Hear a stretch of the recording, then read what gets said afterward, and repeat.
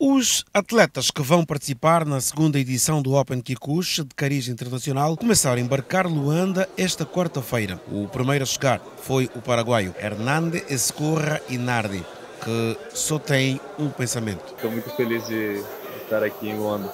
Eu vim aqui para ganhar, então não vim aqui para perder não, mas é sempre é uma questão de jogo a jogo, então isso que é o importante. O importante é a competição e dar sempre o melhor de mim. Hernandes José Escorra Isnarde, atleta paraguaio que escalou a cidade capital angolana para participar da segunda edição do Open Kikuchi que vai decorrer na Academia de Tênis Kikuchi Village Club de 19 a 25 do corrente mês. TV Belas.